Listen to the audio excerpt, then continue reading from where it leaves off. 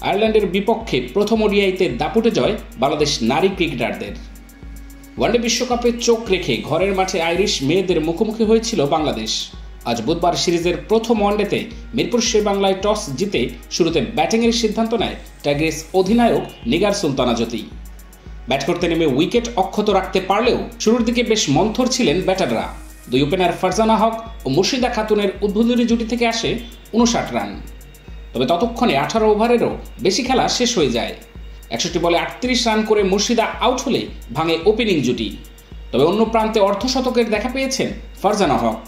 চার বাউন্ডারিতে একশো দশ বলে একষট্টি রান করে সাজঘরে ফেরেন এই ব্যাটার। এরপর অধিনায়ক জ্যোতিকে নিয়ে বেশ ভালোভাবেই এগোতে থাকেন শারমিন সুপ্তা। রানের গতিও বাড়ছিল। বাংলাদেশের ইনিংসে সাধারণত এক উইকেট পড়লে পরপর আরও কয়েকটি উইকেট পড়ে যায়। আজ এ জায়গায় বেশ নিয়ন্ত্রণ ছিল স্বাগতিক মেয়েদের। এদিন ভালো শুরু পেলেও ইনিংস বড় করতে পারেননি জ্যোতি। আঠাশ বলে সমান সংখ্যক রান করে ক্যাচ দিয়ে ফিরেছেন অধিনায়ক। অন্য প্রান্তে ইতিহাসের হাতছানি ছিল সুপ্তার সামনে। ইনিংসের উনপঞ্চাশতম ওভারে ফ্রেয়া সার্জেন্টের বলে আর্লেন কেলির হাতে ক্যাচ আউট হয়ে সেঞ্চুরি স্বপ্নভঙ্গ হয় শারমিন সুপ্তার। সাজঘরে ফেরার আগে চোদ্দটি চারের মারে উননব্বই বলে ছিয়ানব্বই রানের ইনিংস খেলেন এই ব্যাটার। শেষ দিকে অপরাজিত থাকেন স্বর্ণা আক্তার তেরো রান ও সুভানা মুস্তারি পাঁচ রানে। আরিশ মেয়েদের হয়ে সর্বোচ্চ দুইটি উইকেট শিকার করেছিলেন ফ্রিয়া সার্জেন্ট।